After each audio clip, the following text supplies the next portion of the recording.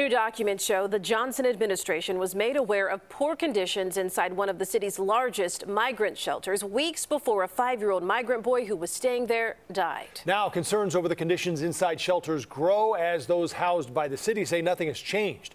CBS 2's Sabrina Franza is digging into what's happening inside those shelters. You can see just how busy it is here outside this shelter on Halsted, and it is always like this. Every time we're here, asylum seekers that are staying inside this Pilsen shelter come outside, brave the cold temperatures so they can meet volunteers that are on the street outside. They say they need more food, more space, and better health care. An ambulance arrives at the migrant shelter in Pilsen, taking one of the over 2,000 people staying here to get help.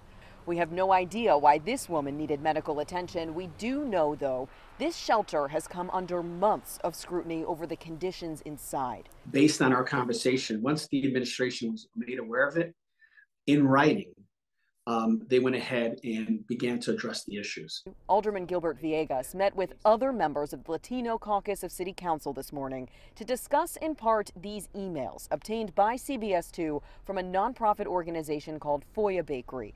Alderwoman Nicole Lee wrote to the Johnson administration on October 28th, raising concerns over things like exposed pipes, raw sewage, possible outbreak of illness, poor treatment by shelter staff.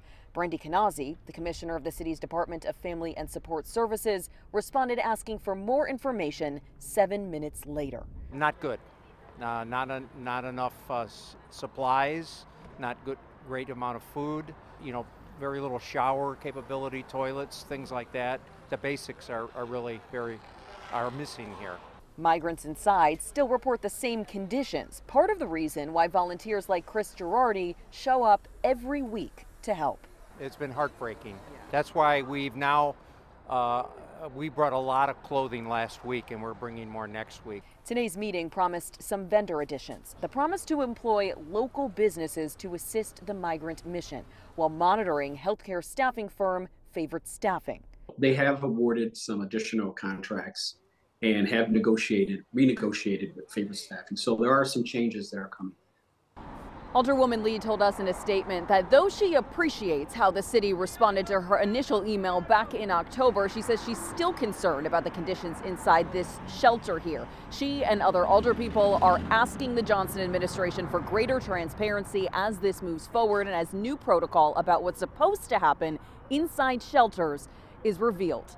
We're in Pilsen. Sabrina Franza, CBS 2 News. We've asked the Johnson administration if they have a response to all of this. We've also reached out to favorite staffing. We'll let you know if we hear back.